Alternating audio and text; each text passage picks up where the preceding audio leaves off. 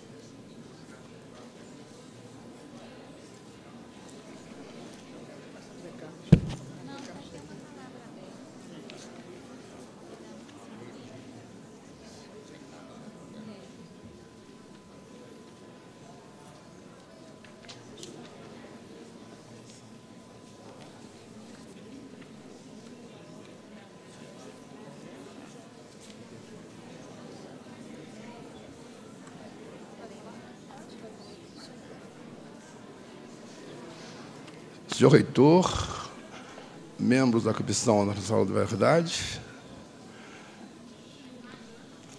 demais participantes desse evento tão importante, é uma honra para mim estar falando aqui em nome da Ordem dos Advogados do Brasil, através da sua comissão da Memória e Verdade.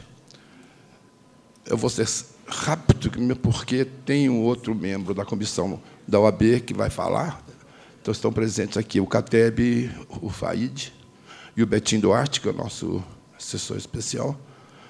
E reafirmar o nosso compromisso da OAB com a verdade e com essa comissão. E informar que o nosso presidente do Conselho Federal acabou de criar, no âmbito do, da OAB Federal, também a sua Comissão Nacional da Verdade no âmbito da Conselho Federal da OAB.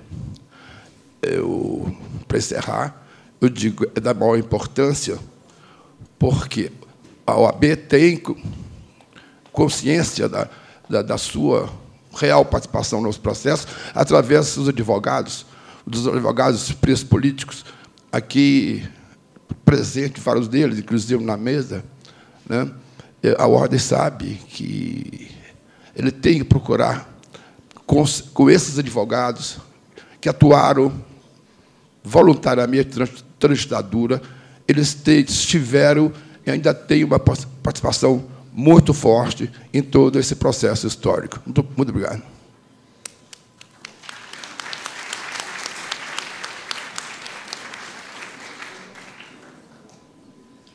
Convidamos o presidente do Conselho Estadual de Defesa de Direitos Humanos, CONED, senhor Eumício José Lacerda Vilaça, que comentará sobre o termo de cooperação firmado com a CNV.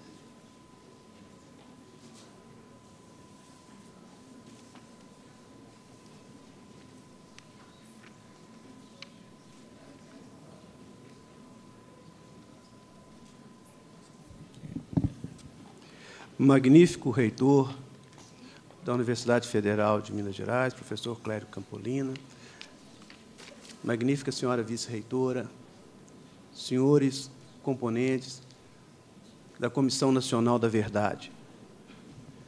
Para nós do Conselho Estadual de Defesa dos Direitos Humanos, a importância também de estarmos nesse termo de cooperação em razão do nosso acervo de processos de vítimas deste período tão nefasto da nossa história.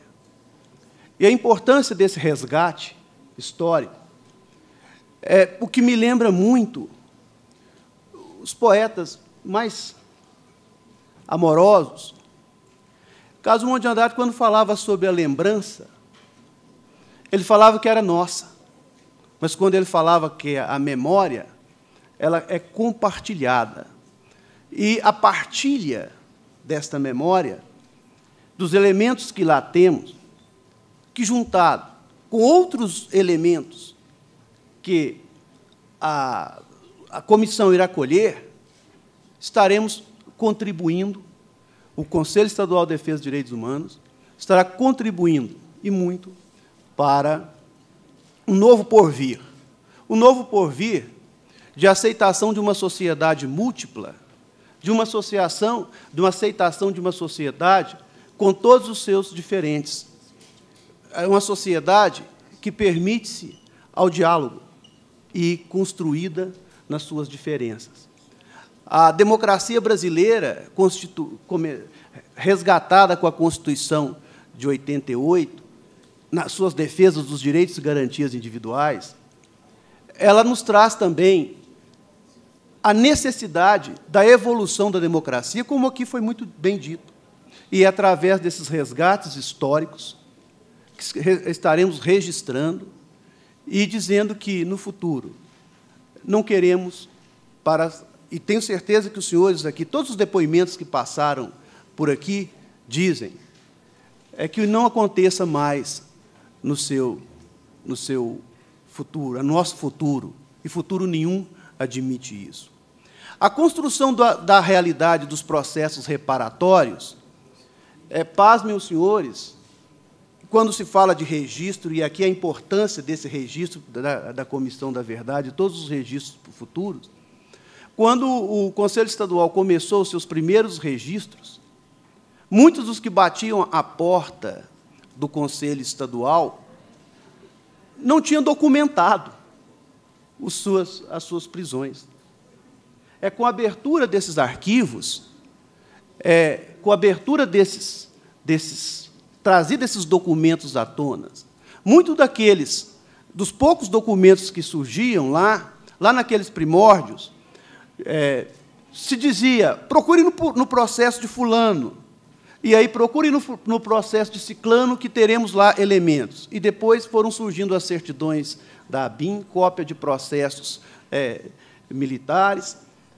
E, e aí sim, esse manancial que temos hoje é um manancial que é, muito contribuirá. Mas quero aproveitar a oportunidade, dizem lá para as bandas do Pitangui, que toda oportunidade que temos de falar, temos a oportunidade também de conclamar. Gostaríamos de aproveitar aqui e conclamar a necessidade de abertura de, novos pra, de novo prazo para a reparação, porque muitos processos lá estão indeferidos por questão também de prazo. A lei abriu um prazo muito curto e a necessidade desta reparação como é, dizer, não mais acontecerá. Então, conclamamos aqui a necessidade da, assinatura desse convênio, assinatura desse termo, a abertura de novos prazos indenizatórios. Tenho certeza que este auditório, após ter ouvido todos esses relatos, que aqui contaram parte, não de vida, mas de vida vivida, de vida sofrida. Poderemos dar a todos aqui que não estão aqui, mas que ainda tem o direito dessa reparação, receber o que lhe é devido. Muito obrigado, muito obrigado.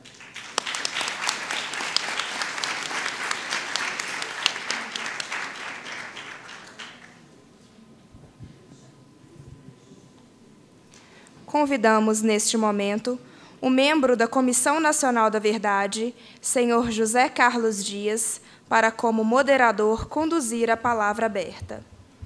Quaisquer convidados da plateia que queiram se pronunciar a respeito do tema desta audiência, favor solicitarem sua inscrição com a senhora Maria Elizabeth e senhora Raquel nas extremidades deste auditório. Com a palavra, o senhor José Carlos Dias. Magnífico reitor, magnífica vice-reitora, eh, senhores professores, colegas advogados, minhas senhoras, meus senhores, estudantes presentes. Eu quero dizer, magnífico reitor, que eu vivo nesse instante uma emoção pessoal muito grande, no momento em que estou nesta universidade, vendo essa juventude presente, vibrando, é, palpitando com o coração e com o cérebro na esperança de um país melhor. E eu fico feliz, muito feliz, em saber que nós estamos alcançando aquele objetivo que é, através de audiência pública, sensibilizar a nação brasileira para a necessidade de acordar. E, e esta universidade, com tanta tradição, este Estado, com tanta, com tanta grandeza na sua história, está nesse momento, nesse dia, nesta tarde, dando a demonstração de que o Brasil está realmente acordando.